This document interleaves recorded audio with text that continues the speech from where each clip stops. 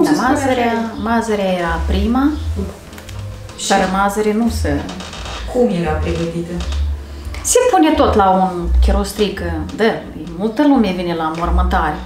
La un chirostric, la un foc afară, citșor punem apa clocotește, până una alta, spălăm mazărea. O spălăm bine în vreo două api, că ea lasă albeața e de, o alegem, o curățăm, pe urmă o spălăm. O spălăm tot cu apă caldă. O punem la fiert și la foc mic, încetșor, după ce începe a clocoti, încetșor. Luăm spuma, că e face o spumă, luăm spuma tot încetșor, pe se clocotește. Mm. Pregătim multă ceapă, o prăjim, că asta e prăjitura deasupra merge. Punem și un pic de pastă de roșii, Cum îi spuneți aici la pasta de roșii? Pasta de tomate. Tomate. Da. Și o prăjim. După aceea, după ce dăm să, să afiert bine, el se face ca o cașă moale.